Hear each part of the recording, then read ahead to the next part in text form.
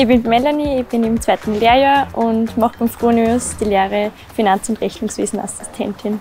Zu meinen Hauptaufgaben zählt Vorkontieren, Buchen und die Rechnungen wieder ablegen. Und hin und wieder sitze ich auch beim Empfang, also dann mache ich die Empfangsvertretung und da tue ich auch die Post bearbeiten. Ja, also ich arbeite halt gerne mit Zahlen und das muss man halt auch mögen. Und das können manche nicht so ganz verstehen, aber es taugt dann schon. Also mir taugt es zum Beispiel schon gut. Ja, also ich finde es voll cool, dass wir mit den Kollegen auf Pause gehen gemeinsam. Und ich finde es auch voll cool, dass es ein warmes Mittagessen gibt. Das ist richtig cool und der Fronius übernimmt da 40 Prozent davon. Das ist auch ein Benefit. Genau. Und ja, eben die Sommerfeste sind auch immer voll cool. Ich habe mich für eine Lehre beim Fronius entschieden, weil meine beiden Geschwister arbeiten da. Und da hat man schon voll viele gute Sachen gehört, dass es halt so familiär ist und so liebe Leute da arbeiten.